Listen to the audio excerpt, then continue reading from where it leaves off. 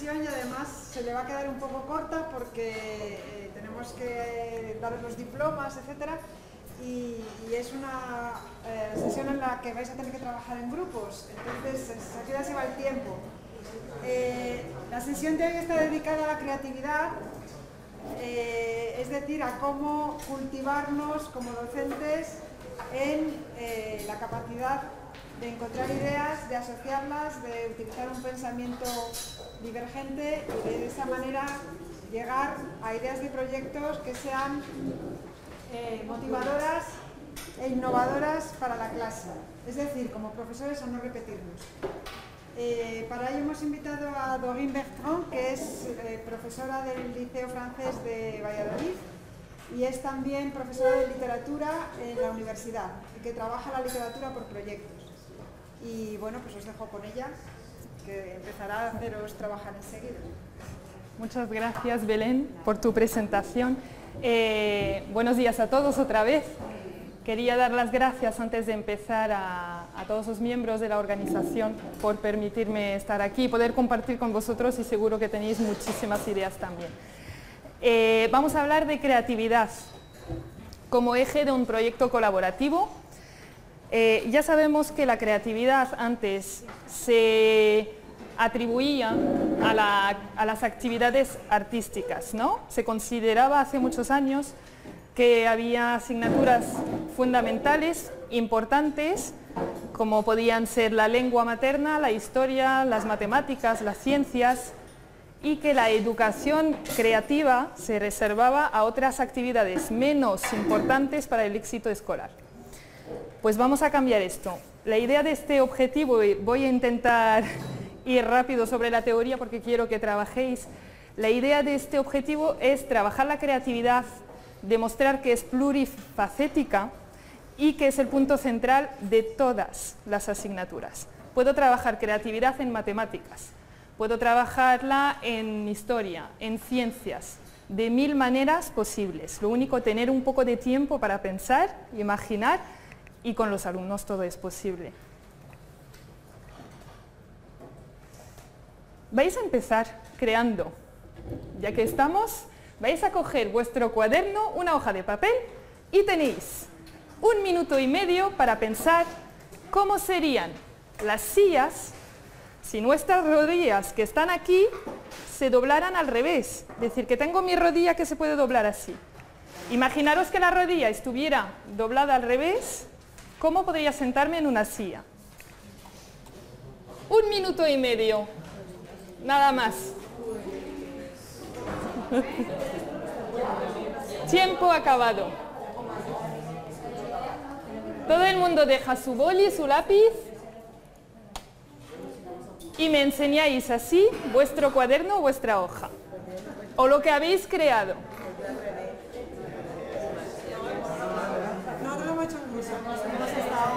Vale, voy a coger esta. pregunta. Es difícil. A ver.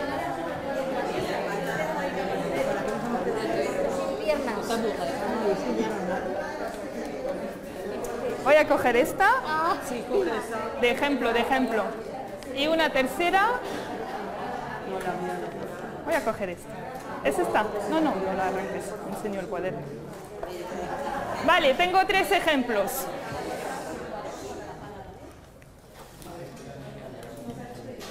Primer ejemplo de la silla sería este modelo, ¿no? Y tuviéramos pues las piernas al revés que estarían en el aire. Es una opción, es una opción, tengo la representación de una silla, que es una idea, un objeto concreto, y a partir de este objeto concreto y del problema que me han planteado, he creado un nuevo objeto que me soluciona un poco la vida. Segunda opción, si, nos la, si lo puedes contar. Ah, eh, pues supongo que lo que habría que posar es la parte delantera, no la trasera que tenemos. Entonces es muy hundido la parte delantera, como no de... Y luego es para apoyarte con mirando hacia adelante y que se quede encajado. Has tenido la misma idea que yo. Lo había dibujado en casa y pensando que justamente esta parte de la silla estaría delante y no detrás. Y os he dicho, me parece, de dibujar. Error mío, hubiera tenido que decir representar, que es lo que digo en clase. Representar una idea, un objeto, lo que sea. Y hemos tenido este resultado. ¿Nos lo puedes contar? Sí, pero de todas formas estoy pensando que me, ha, que me ha faltado doblarlo un, un, poquito más. ¿Vale? Porque sería sentarnos igual como que nos sentamos ahora, pero claro, la rodilla sería, o sea, las piernas serían para arriba y ahora doblar las rodillas. O sea, igual que este dibujo, ¿no? Eh, más o menos. Este. este, que tenemos las rodillas arriba, ¿no? Claro, es, es como si la silla nuestra tuviese aquí eh, Eso es. Vale, esto es otro ejemplo de creatividad. Lo que quiero demostrar aquí, gracias, ¿eh? Devuelvo los cuadernos por si tenéis que apuntar algo. gracias. Era una pregunta difícil, lo reconozco, ¿eh? porque tenemos que imaginar, tenemos, necesitamos tiempo para pensar y para crear. Pero lo que quiero que veáis es que en clase es lo mismo. Necesitamos tiempo como docentes para pensar, para imaginar, para crear, pero también los alumnos necesitan tiempo. Muchas veces yo como profesora en primaria, en secundaria y en la universidad, porque he dado a las tres edades, eh, muchas veces yo quería seguir mi programación, que es lo típico que nos piden, y dedicaba una hora a la creatividad. Pues en una hora a veces no terminaba y no pasaba nada. Seguía la hora siguiente y sí que tenía un producto bien hecho, los alumnos se acuerdan en general de lo que han creado, no de los conceptos teóricos que les damos. Cuando crean ellos, cuando son actores, es cuando lo memorizan.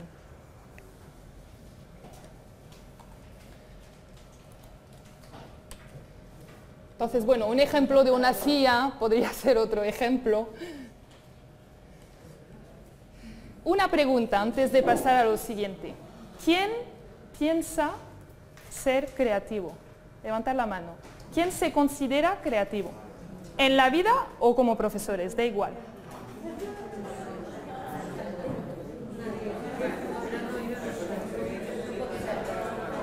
Vale. Más o menos, más o menos la mitad, ¿no? Más o menos la mitad. Lo que quiero saber es qué entendéis por creatividad. ¿Qué es la creatividad? Y como sois muchos, os voy a permitir que cojáis el móvil, vais a utilizar vuestro móvil y os vais a conectar, me parece que la habéis usado en otra, otro taller esta semana, la página Mentimeter, ¿no? Mentimeter. Entonces, vosotros en Google solo tenéis que poner menti.com.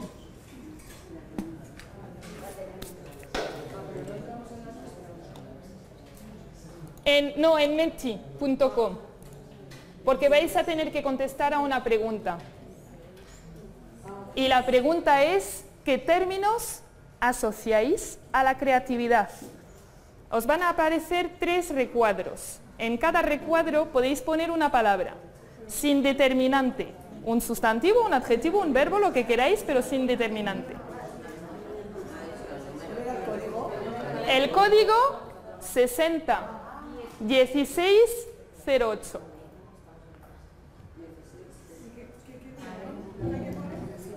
Hay que contestar a la pregunta ¿qué términos asociáis a la creatividad? Una palabra por recuadro.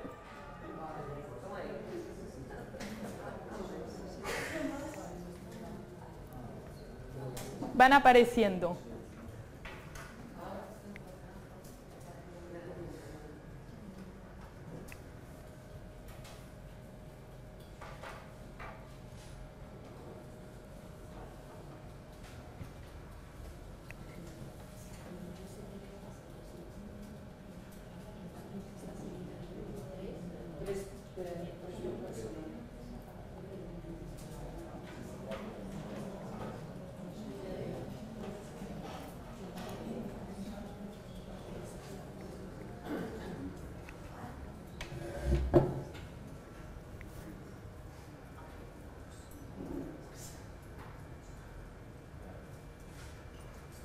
Ver, ¿quién falta? Vale, yo pensaba que alguien iba a poner palabras en francés, en inglés, en euskera. Todo el mundo en español al final. Vale, palabras que vemos que aparecen. Originalidad, efectivamente. Imaginación, pero ya vamos a matizar, porque hay una diferencia entre la imaginación y la creatividad. Lo vamos a ver luego. Original, diversión. Nos divertimos cuando creamos. Diferente. ¿Por qué diferente? Esta palabra me interesa. ¿Quién ha puesto diferente? ¿Algo nuevo? ¿Vale?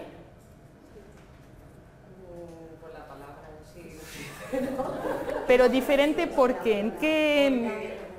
la creatividad es que a una persona se le ocurre algo que a mí no. Entonces es algo diferente a lo que yo había pensado. ¿Vale? ¿Puedo crear a partir de nada? ¿Es posible? ¿Cómo lo hacéis?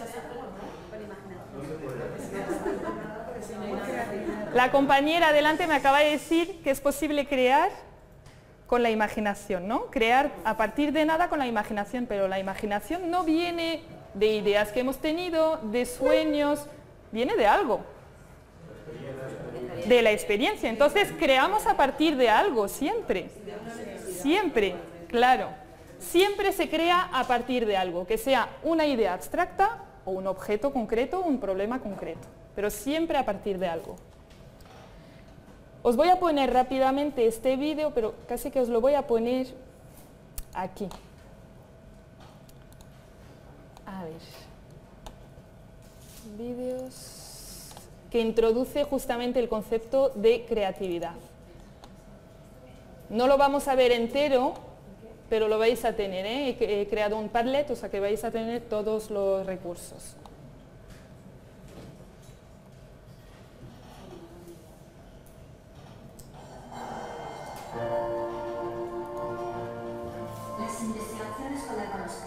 Han propiciado teorías y experimentos que intentan sobresaber el peso de la educación frente a la genética en nuestras vidas.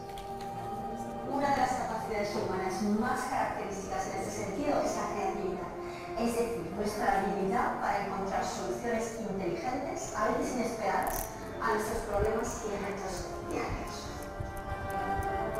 De pequeños somos un torrente de creatividad. Esta capacidad debería mantenerse a lo largo de todas nuestras ya que cada una de nuestros 100 millones de neuronas puede tener entre 100 y 600 conexiones entre ellas una explosión química y eléctrica que nos permite imaginar y crear a cada momento. Pero los estudios sugieren que a medida que nos hacemos mayores, tendemos a reprimir ese torrente mental ¿Podemos evitarlo? ¿Cómo funciona nuestra creatividad? Y sobre todo, ¿cómo podemos potenciarla? Vale, lo dejo aquí. ¿Cómo fomentar la creatividad? ¿Cómo potenciarla como docentes, pero como alumnos también? Esto lo vamos a ver.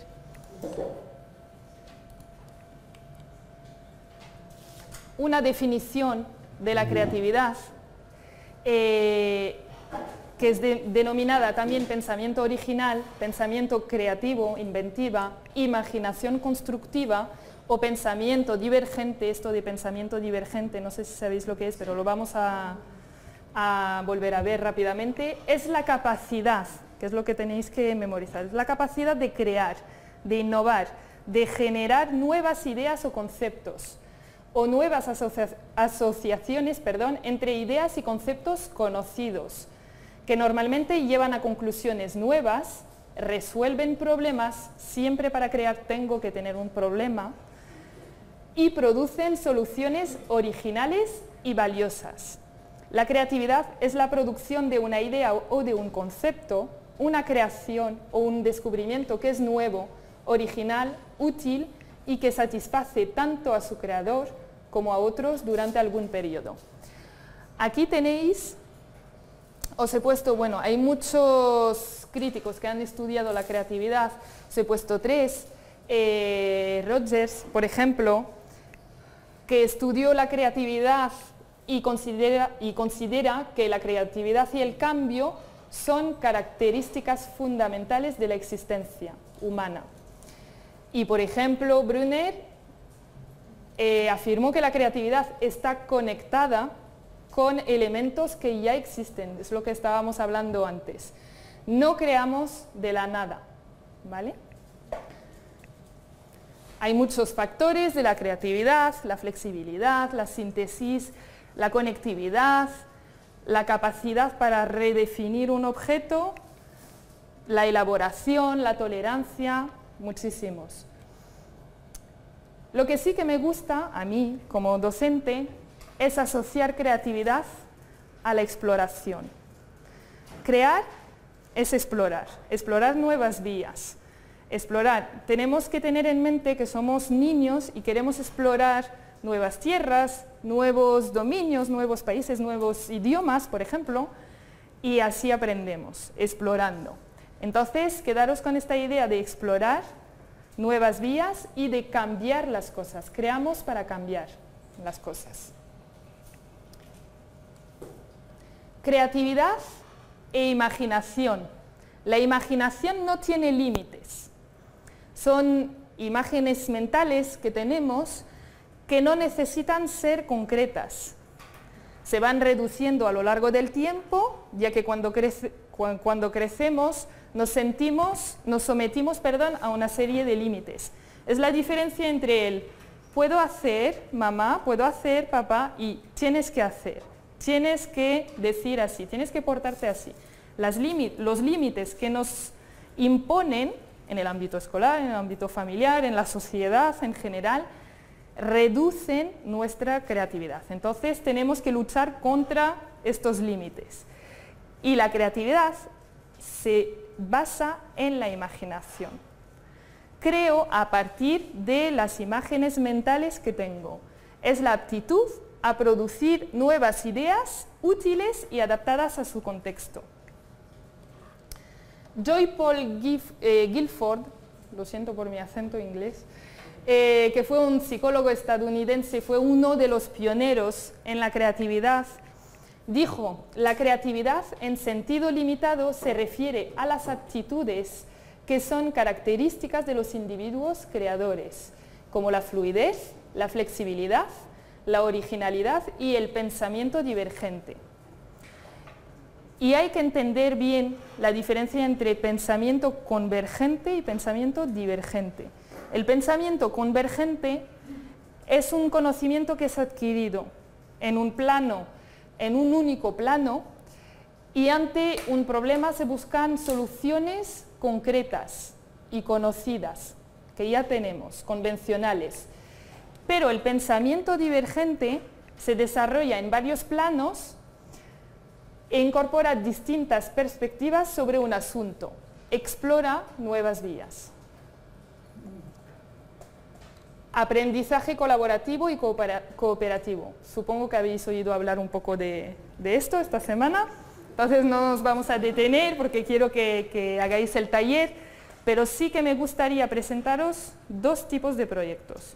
Un proyecto colaborativo, no sé si lo conocéis, se llama en francés Les bâtisseurs de possible y en inglés Design for Change. Es el no sé si alguien lo conoce. Vale, vale. Y el proyecto cooperativo que pongo en marcha en mis clases, tanto con los alumnos de primaria del Liceo Francés como con los de, de secundaria y de la universidad, es un taller de lectura literaria. ¿Alguien lo conoce? ¿Tampoco? Vale. Pues vamos. ¿Sí? Una cosa con respecto al pensamiento convergente y divergente. Sí. Eh, la cuestión de, trabajar con los alumnos, por ejemplo, una actividad tan sencilla como creo que hacemos todos en clase, que es eh, la lluvia de ideas. Sí. Eh, yo creo que una, yo opinión, yo creo que una la lluvia de ideas generalmente favorece el pensamiento convergente. Sí. Es decir, cuando decimos a los niños vacaciones, para los a vacaciones, la cabeza es convergente. O sea, dice vacaciones, la playa, el mar, los amigos, y todas esas ideas se quedan pegadas. depende de cómo lo planteas en clase. Yo a veces la lluvia de ideas, que bueno, yo también la hago, la hago efectivamente basándome en este pensamiento convergente, pero luego los niños o los alumnos trabajan en grupos. Y luego las ideas que han tenido las van compartiendo y las van asociando a otros conocimientos que tienen. Entonces ya aparecen cosas distintas del típico vacaciones, pues los, medios de transporte, el tiempo y... Entonces yo creo que adaptando la, la actividad puedes jugar con estos dos tipos de, pensamientos. Sí.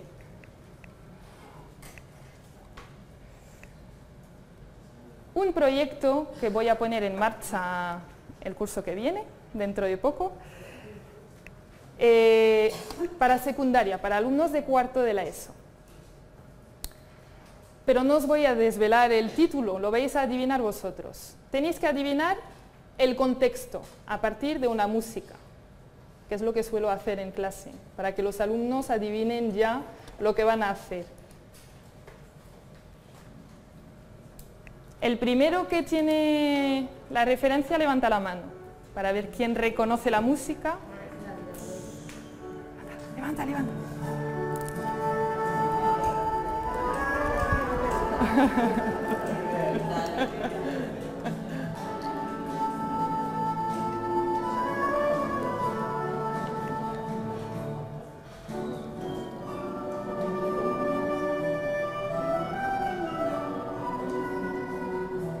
mundo lo tiene?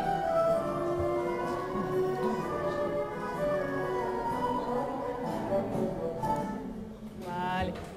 Veo que os gusta la canción. ¿Cuál es el contexto de mi proyecto? La Segunda Guerra Mundial. ¿Cuál es el tema de mi proyecto? ¿Cuál es el título?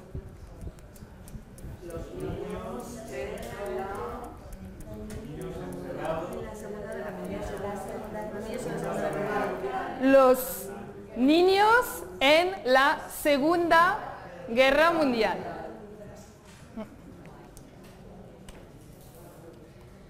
Para introducir el proyecto voy a poner un vídeo a los alumnos. Es un vídeo de Nicholas Winton, no sé si os suena este nombre. Fue un hombre, un filántropo británico que salvó a 669 niños de los campos del campo de concentración. Es un vídeo que, bueno, muy conocido. Ah, lo tengo que poner en el otro...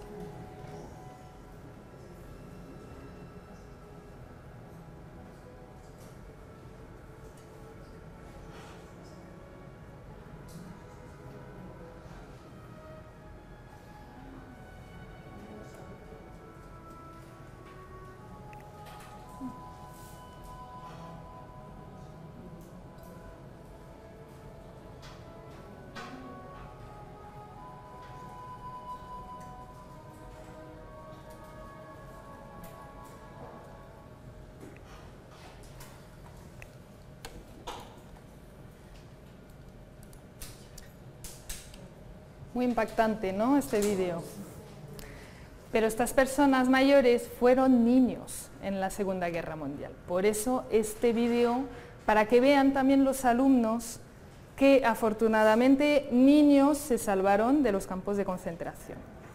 A partir de esto yo trabajaré de otra forma. Os voy a, a proponer una actividad para que podáis trabajar, pero realmente que sepáis que el proyecto se va a basar en la reflexión de los alumnos.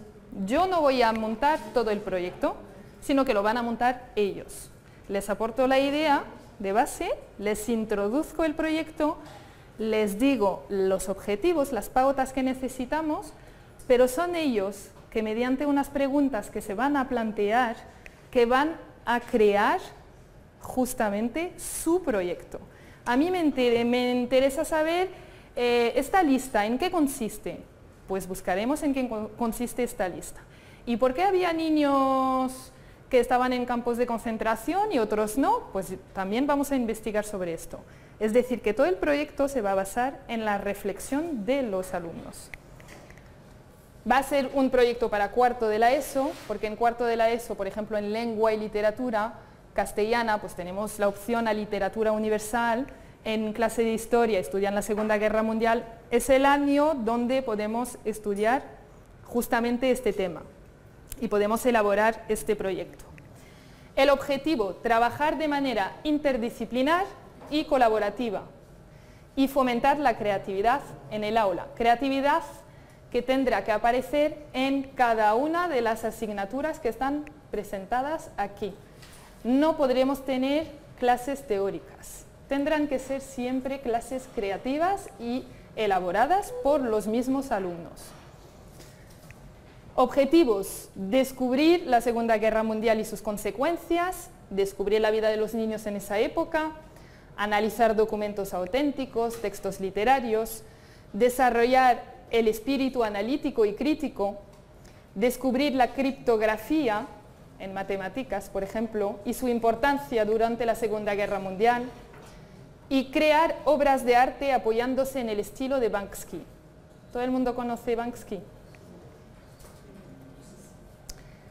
Esto es el Padlet.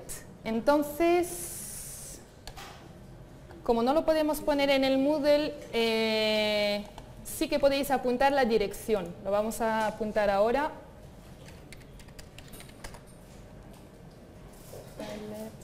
Porque no sé si... Ah, sí, sí aparece aquí. Sí. A ver. Presentación del proyecto. Creatividad en proyectos educativos. Diferencia entre aprendizaje cooperativo y colaborativo lo que se puede hacer en historia, lo que se puede hacer en matemáticas, en lengua española y literatura. Por ejemplo, lo que he hecho yo en clase con alumnos ha sido la creación de un cómic, pero con recursos digitales, con una página que se llama Canva. No sé si la conocéis. Canva.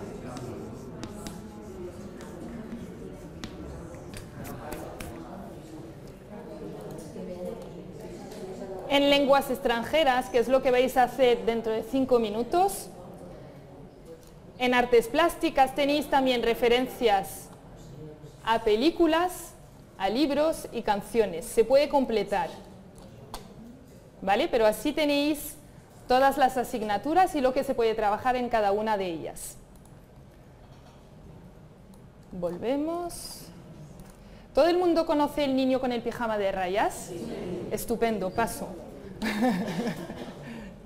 Entonces, nos vamos a basar en lengua extranjera, es decir, yo lo haría en francés, pero vosotros en inglés, en francés, en euskera, no sé qué, si hay más idiomas, catalán, ¿vale? En, los idiomas que podéis hacerlo, porque este libro está traducido en varios idiomas muy conocido, fácil de acceso para alumnos de cuarto de la ESO. En francés es fácil de, acceso, en inglés también.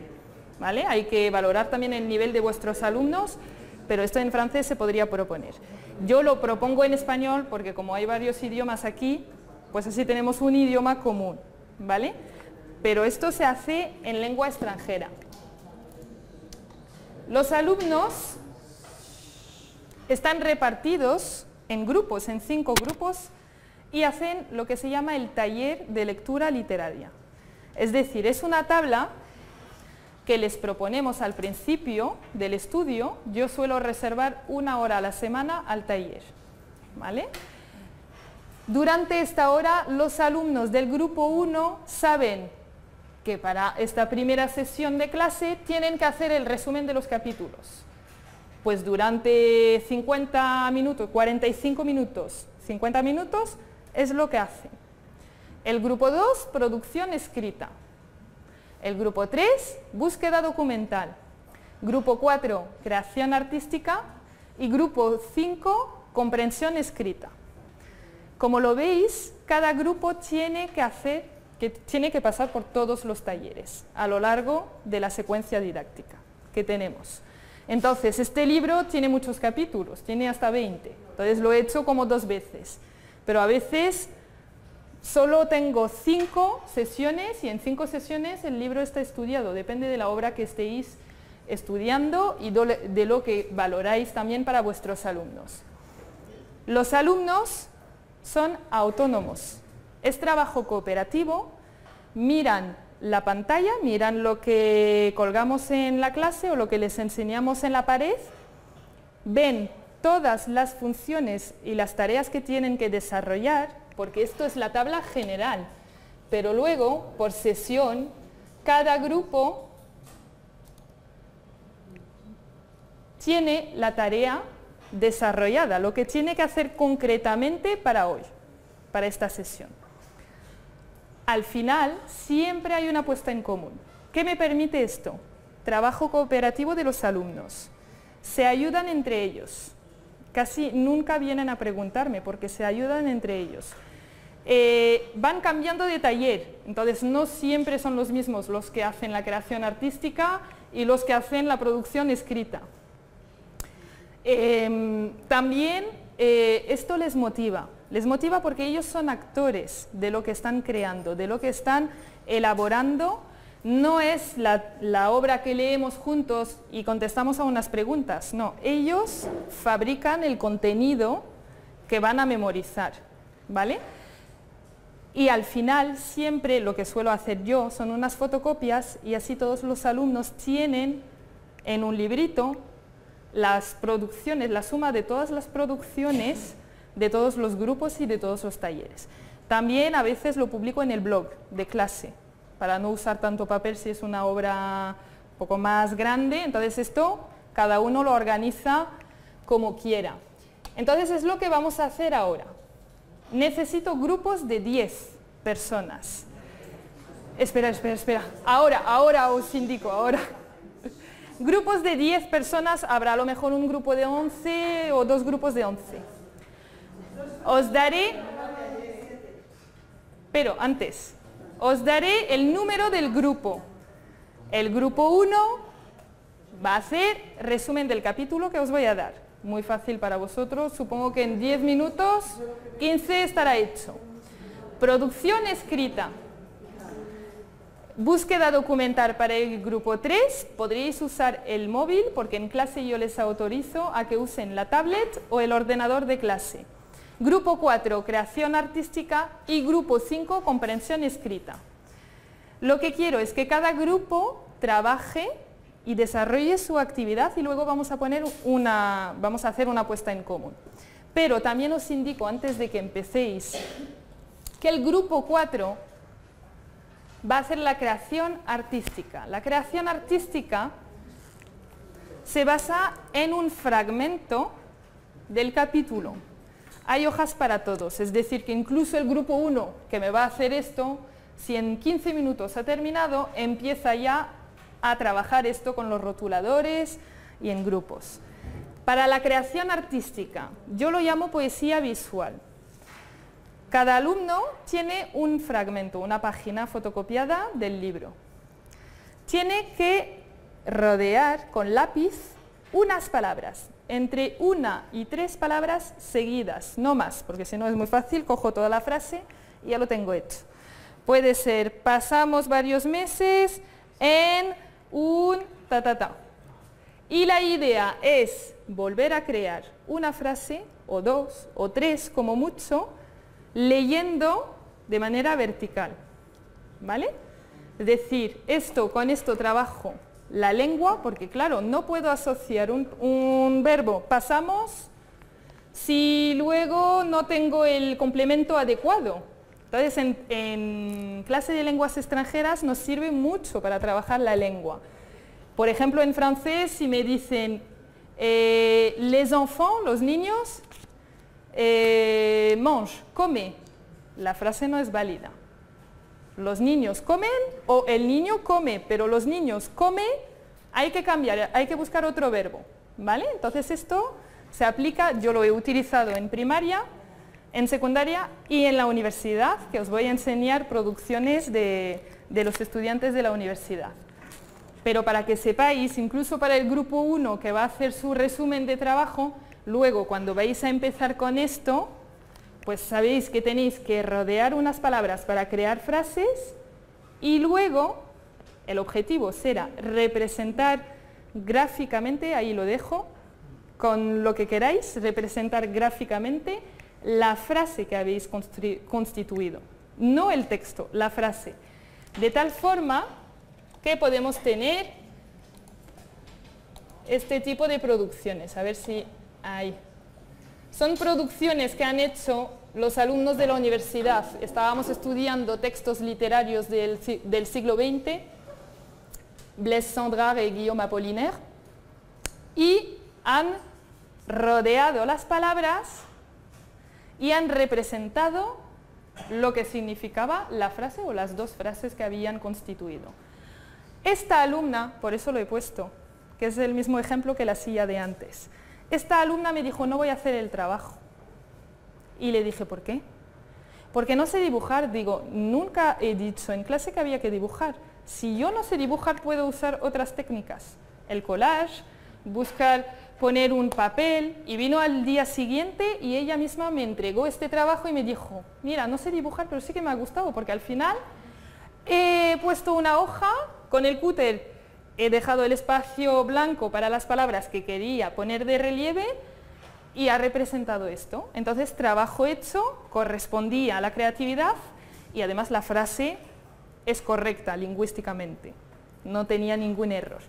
Entonces, para este trabajo vais a poder usar lo que queráis. Habrá rotuladores por grupos, pero si se os ocurren otras ideas, podréis hacerlo. Entonces, ahora, volvemos. Grupo 1.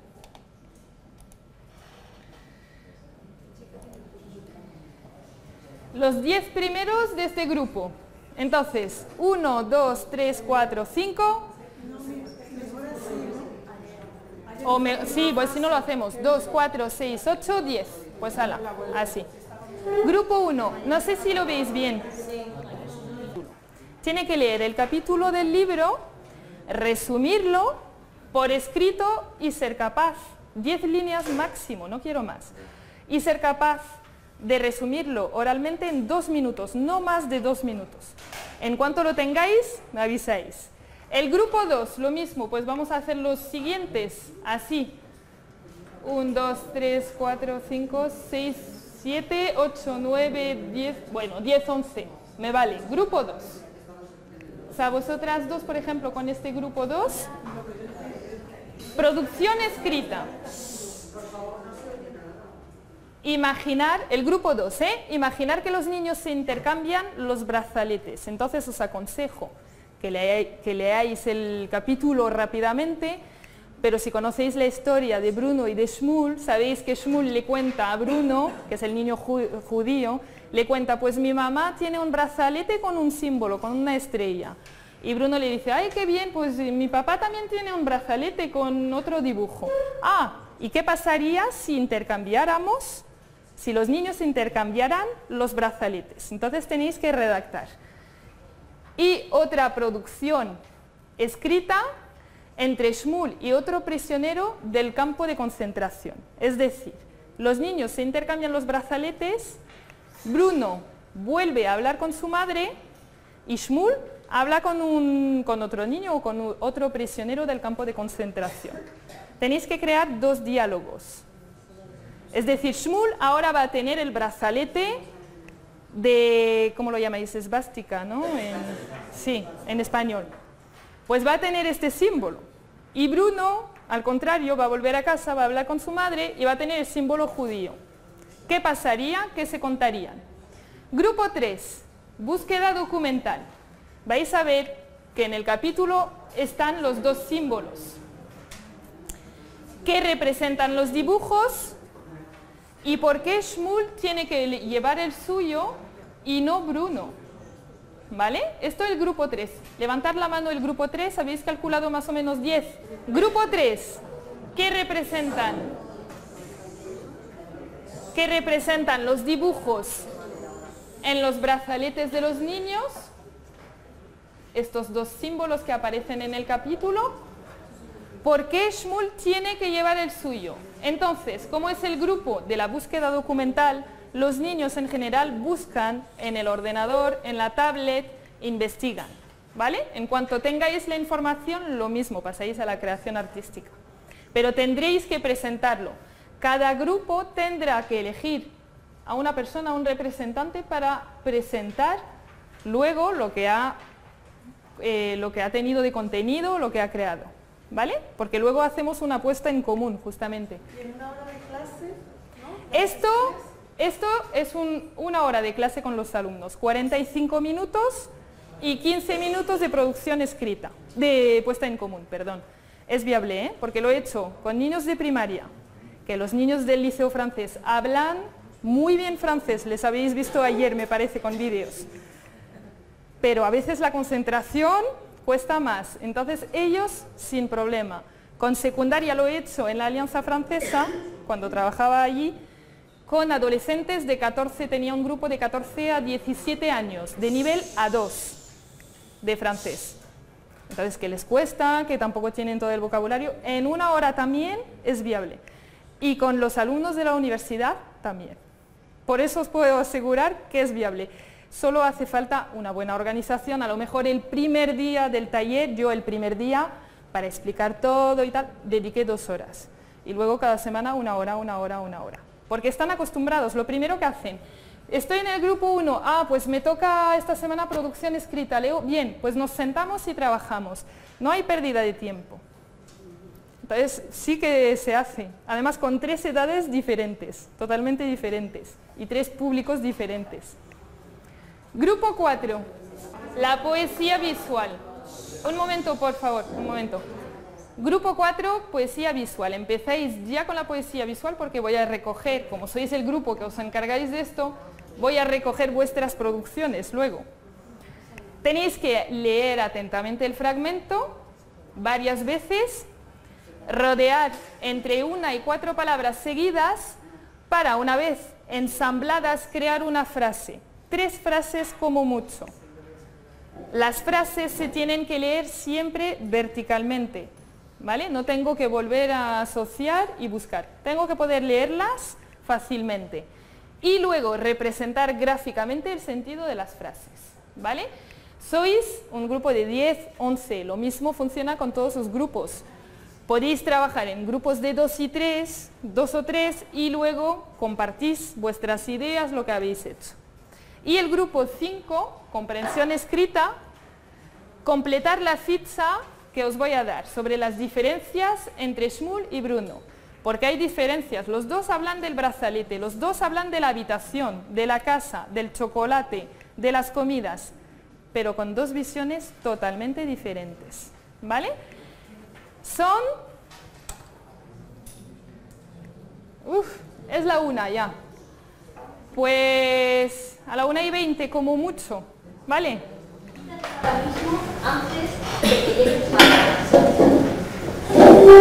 inmediatamente responde, ¿pero por qué? Me lo he intercambiado con mi amigo.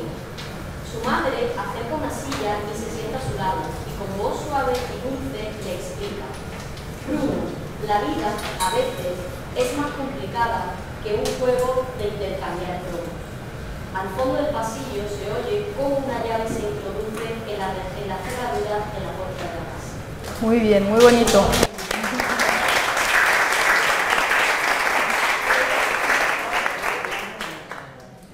Segundo diálogo. No, no, de pie, de pie, estaba bien. eh, Isaac y Samuel acaban de encontrarse donde viven. Uh -huh. Su, Son dos amigos del campo nueva casa. Samuel ¿de dónde vienes? ¿Y ese brazalete? Es como el de los soldados. Lo ha robado. ¿A ti qué te importa? Me lo he encontrado tirado y es mío. Como te lo vean los soldados de la ganas. Te he dicho que a ti qué te importa. Y no me lo van a ver. Samuel, ¿y el otro brazalete que te hizo tu madre, que lo tienes que llevar siempre? ¿Dónde lo tienes? Tú te la cargas. ¿Y a ti qué te importa? Déjame en paz. Siempre me están molestando. Te lo voy a quitar. Bueno, en esto llegan los soldados, nos separan y nos llevan a... A un sitio. A un sitio.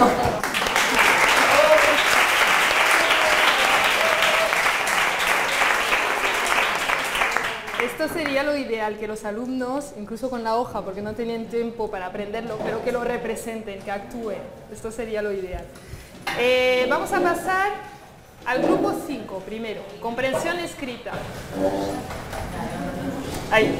Bueno, teníamos que ver las diferencias en determinadas palabras en la visión de ambos niños. Con respecto al brazalete, para Bruno es algo deseado y es un honor. Para Samuel está impuesto y es un estigma.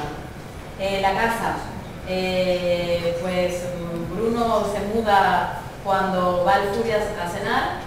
Eh, Samuel en la relojería, vive en la relojería y se mudan por obligación. La habitación, eh, Samuel vive en 11 personas y para Bruno es algo imposible. El tren, mucha gente, no hay puertas y en el caso de Bruno, el tren va vacío, eh, hay cafetería y hay puertas. En cuanto al alojamiento, en un caso uno de los niños vive en un campo de concentración y en otro en una casa de campo. En cuanto a la amistad, eh, hay muchos niños pero nadie juega y el otro, Bruno, no tiene con quién jugar, no hay niños, pero tampoco juega. En cuanto al chocolate, eh, uno lo ha probado una sola vez y no lo puede comer, y el otro tiene la posibilidad de comerlo, pero no lo dejan por los caries. Y en cuanto a las comidas, pues eh, Bruno tiene un horario establecido, como él no tiene ningún horario porque come o no come, eh, más bien no come, y pues en un caso, bueno, esa es la diferencia. Muy bien. Gracias.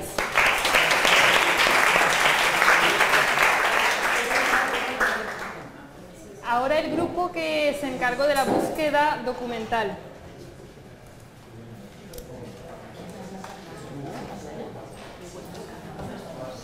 Grupo 3. Grupo 3. Venga, la, el- la- tenemos dos preguntas. ¿Qué representan los dibujos en los brazaletes? Eh, en un caso es la esvástica, es el símbolo de la lucha por la victoria del hombre ario. Los nazis creían que los primeros arios de la India, de cuya tradición surge la esvástica, fueron el prototipo de invasión de raza blanca. Es el, símbolo de la supremacía de la raza. Y la estrella de David eh, representa el judaísmo, la unión entre el cielo y la tierra y representa el pacto entre Dios y Adán. Muy bien. Gracias.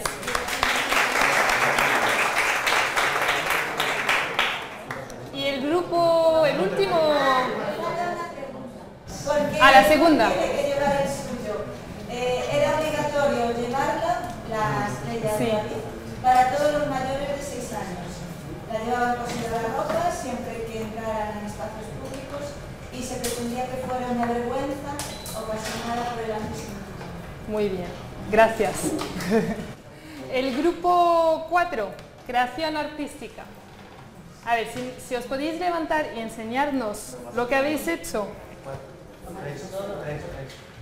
Tenéis tres, vale, si podéis pasar por aquí rápidamente, porque así lo vemos, lo vemos todos, los tres.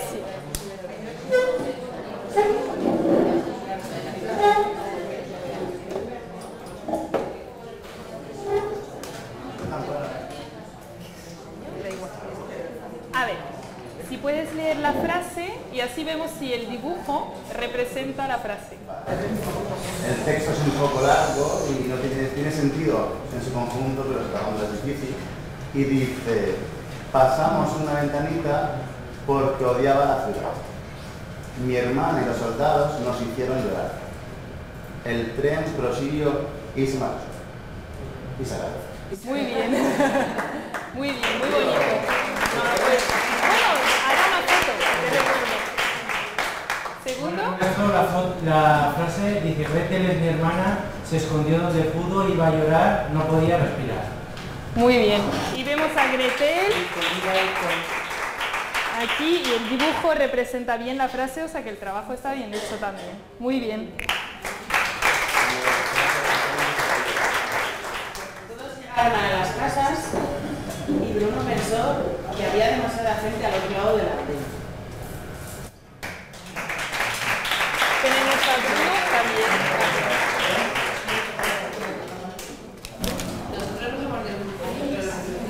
Ah, también, pues estupendo. Hay otras, si hay otras producciones. No pasa nada. Todos juntos por la ciudad, imposible dormir. Y nos hicieron salir, aunque no entendía por qué, no sé cómo. Como pasa mucho calor, ¿no? Ya. Muy bien.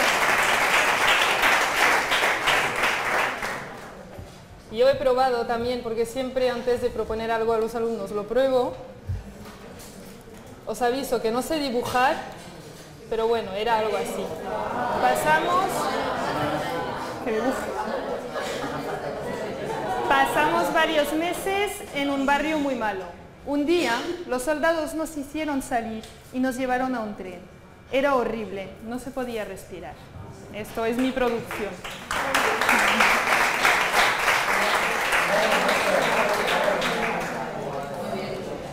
A ver. Antes de acabar rápidamente para que toméis apuntes, porque sé que hay trenes, hay, algunos me lo habéis dicho, eh, si podéis apuntar esta página.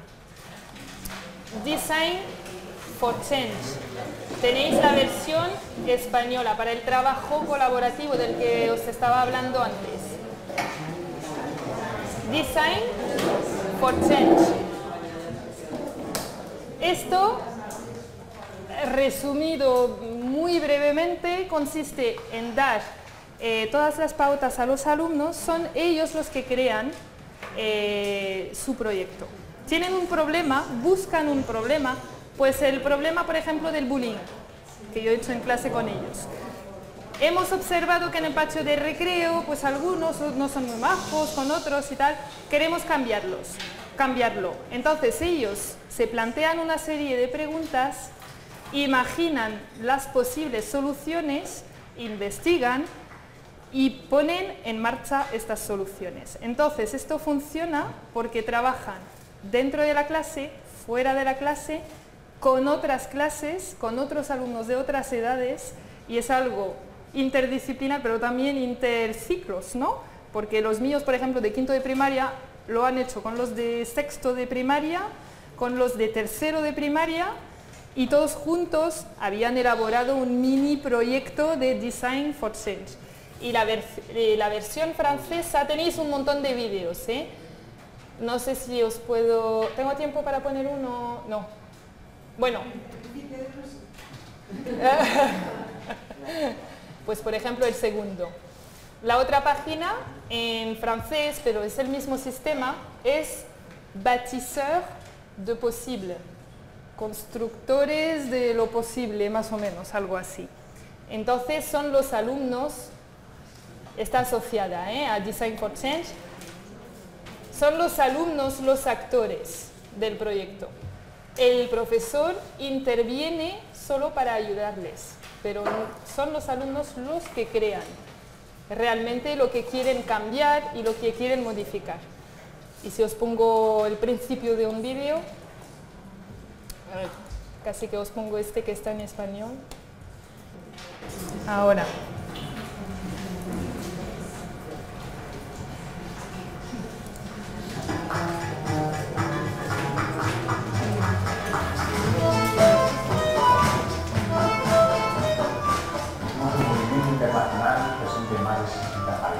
estamos buscando es empoderar a los más jóvenes.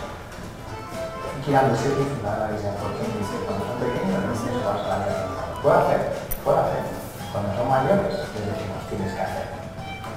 Lo que vamos buscando que es que ellos integren ese yo puedo, lo que llamamos la mindset, que parte de la empatía, de la creatividad, del trabajo en equipo, del liderazgo compartido, y así lograr que hagan un cambio significativo de su mundo, no del mundo porque lo que vamos buscando es que ellos puedan hacer algo que sea significativo.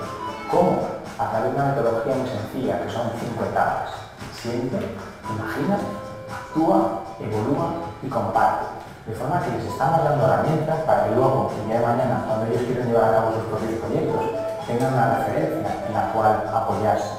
Y estamos dotando de herramientas a los educadores de forma que puedan lograr esto que estamos buscando en toda la sociedad de la innovación educativa. Ese es nuestro objetivo y lo que nos gustaría es que algún día todos los niños, niñas y jóvenes pudieran graduarse con lo que el INMS.